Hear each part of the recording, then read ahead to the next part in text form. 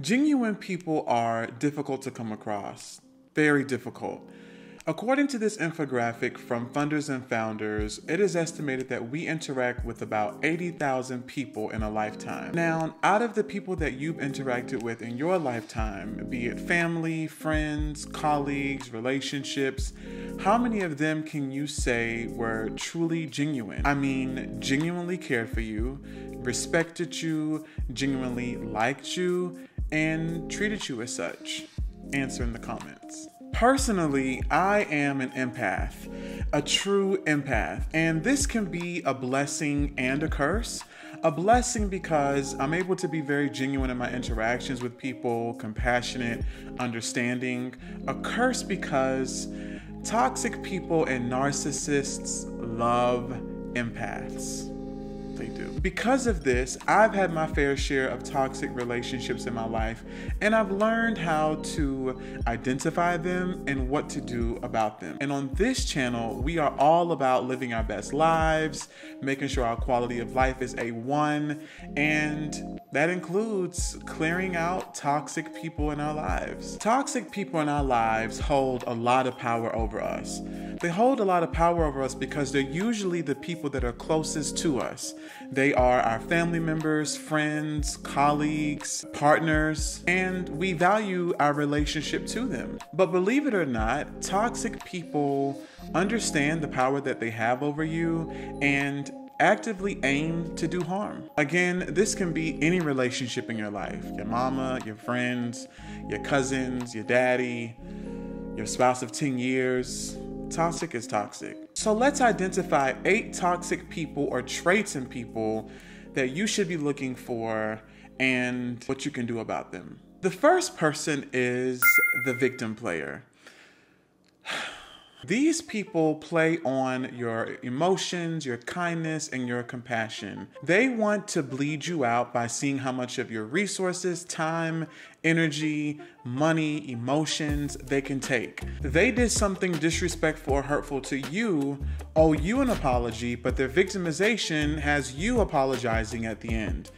Everything is a sob story oh my gosh, you know, I did that to you because I didn't have a family growing up. I didn't have my father in my life. Oh, I was going through something.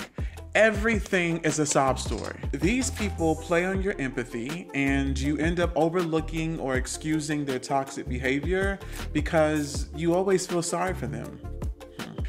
Moving on to the next one. The second toxic person is the person who puts on a facade and keeps you guessing about which version of them you're getting. Personal story I remember I was dating someone and we instantly clicked. I mean, there was so much chemistry. We had intellectual conversations.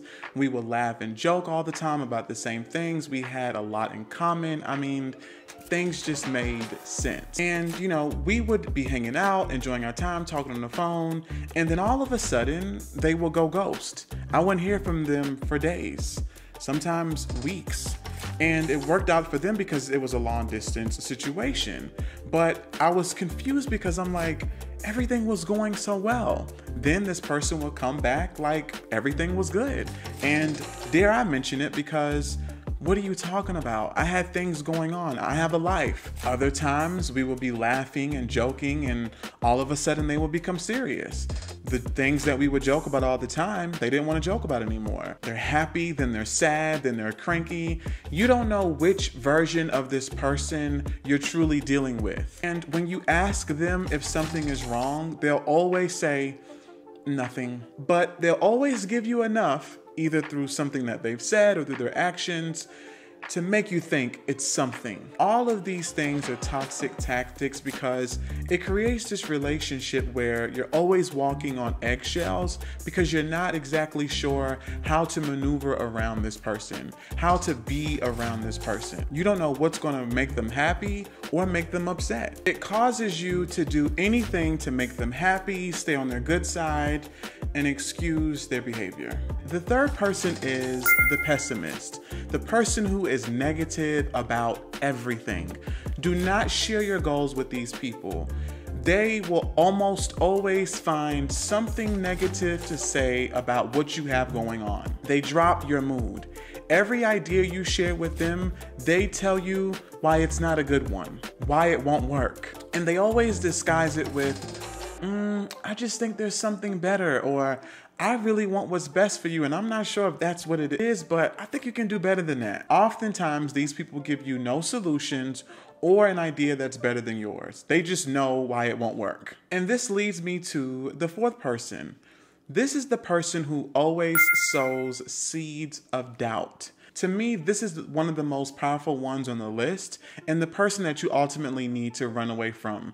Because if someone can get you to doubt yourself, they can get you to stop growing, to stop striving, to stop succeeding. Do not listen to these people. Do not allow these people to seep into your ears and your mind because they have a goal in mind. And that goal is to see you fail. Always remember don't let anyone convince you that you can't be happy with the choices that you make. Number five, the gaslighter.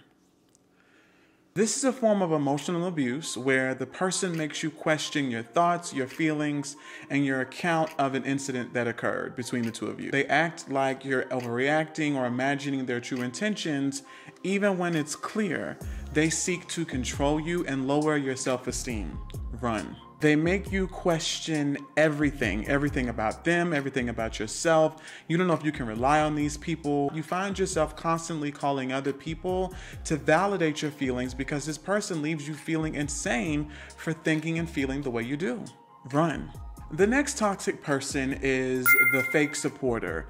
These people make feigned attempts to support you, but you never feel like they're genuinely happy for you.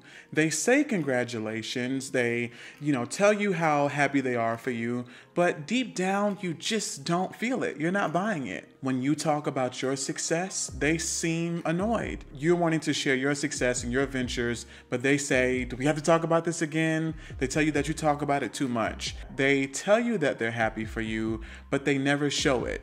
You celebrate their success, but they are begrudging toward yours.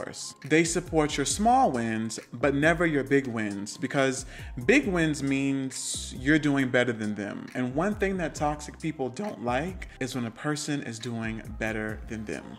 I remember when I got accepted into Northwestern University to work on my doctorate. I was excited and ecstatic and proud of myself because, you know, this university is one of the top universities for our field of speech pathology. And I shared this with a friend, and the response that I got was, Oh, congratulations! I knew you were going to get in. Everyone gets into that school. And I'm thinking, one, no, they don't. And two, what the heck is that to say? So I didn't know if I was getting support or shade. Number seven, the person who never gives any reciprocity. Story time. I remember I was in Houston, Texas, and I talked about this in previous videos. I decided that I was going to be moving to Los Angeles. And I knew that I had another friend in Texas who also wanted to live in Houston. I thought, being the friend that I am, I'm leaving this job. Why not recommend her for this? And she'll be able to move to Houston. So I recommended her for the job. She did the interview and she ended up getting the position. So we decided that we were going to help each other move. We planned our moves close to each other so that I could help her and then she could help me.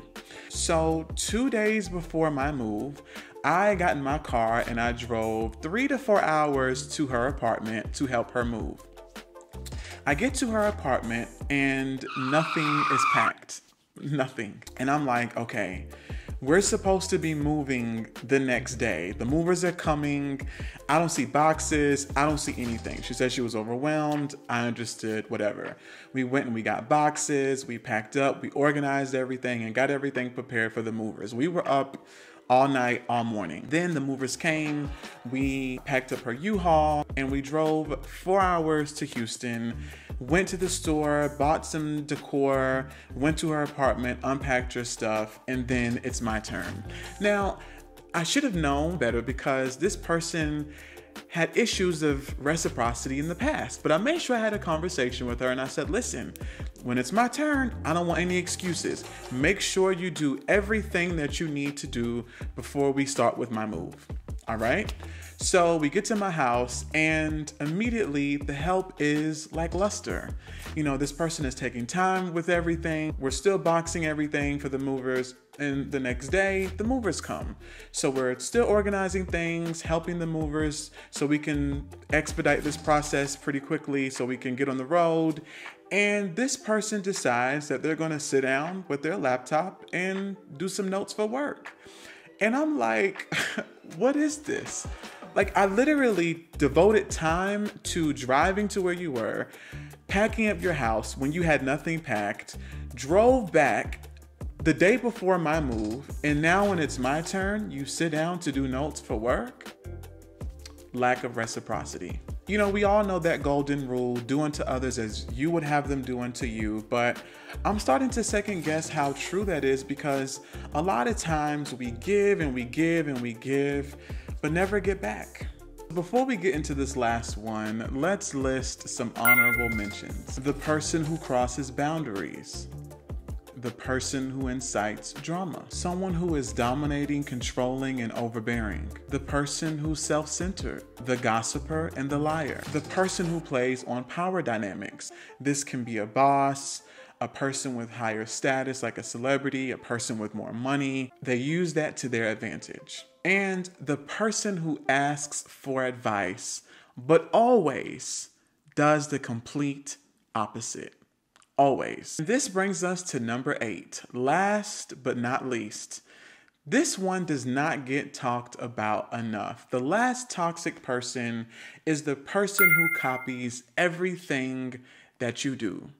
To me, imitation is not a form of flattery. It's a form of, I want some of what you have, so I'm gonna do that too. It's a form of envy and jealousy. If a person envies your life or your success, they may try to emulate everything that you do and do everything that they possibly can, like you, to achieve some semblance of what you have. My mother would always say, I love when conversations start like this. My mother would always say that the thumb can't wake up one day and decide, you know what, I really like what that ring finger does. Every wedding, they put these nice wedding bands and diamond pieces on that finger. I think I'm gonna do that tomorrow. That's not the way this works. Every finger on your hand serves a purpose in the same respect that all of us serve a purpose. Some of you all have gone down paths that you were never supposed to be on because you were following someone close to you. You were supposed to get off on exit 62, but here you are getting off at exit 58 because you're following someone else and can't figure out for the life of you why this thing isn't as successful for you as it was for them. Because you're out of your lane. You were supposed to be somewhere else. Guys, create your own success. Do not focus on the people around you. Create your own lane. It is toxic when you think that you can copy what someone else does to get the success that they have. And now you're in competition with the people around you. It's toxic. Don't be that way. When dealing with toxic individuals, my advice is to distance yourselves from these people or lower your expectations. Stop expecting what you won't receive. Stop trying to change the way people are and change the way you deal with them. People don't change. Did you hear me? People don't change. They just try to get better at masking the things that you don't like, but like clockwork, the things that you don't like will always resurface. You don't always have to cut people off, but you can limit the time that you spend with them. But if they are extremely toxic, exhibiting more than one thing on this list, then you need to cut them off. I don't know where I got this from, but the quote says, you know it's time to cut someone off when their position in your life is in opposition to what you're trying to do and accomplish. You just can't grow with certain people in your life. You know, some people brag about having tight circles, only have one or two friends, but those one or two friends might just be the toxicity that's impacting your mental health. It's not about quantity, it's about the quality of your circle. And as always, guys, put yourself first. So, I would love to hear from you guys. What are some other toxic traits or people that you've encountered, and what did you do about them? Comment below. So, guys, thank you so much for watching this video. And as always, make sure you like, share, and subscribe. And I have to say, you know, when I started this YouTube channel, I didn't know what to expect. It is very difficult putting yourself out there. It takes a lot of vulnerability, and I second guessed myself a lot. The internet can be such a cruel and mean place. Everyone just wants to leave negative comments and be negative. But you guys, with my first two videos, have poured out so much love, so much support so much concern. My heart is just filled with so much gratitude. I appreciate everyone for the comments, the likes, for subscribing, the engagement, the overall support. Thank you guys so much. I will be doing a giveaway very soon. I've never done one before. I think I'm going to do it on my Instagram, so I don't want anyone to miss it. So make sure that you are following me on Instagram at Talks with Jon, and I'll be doing that really soon. I hope you guys continue to enjoy the content that I produce and that you will stay subscribed and subscribed if you're not. All right, guys, again, thank you. I will see you next time. Bye.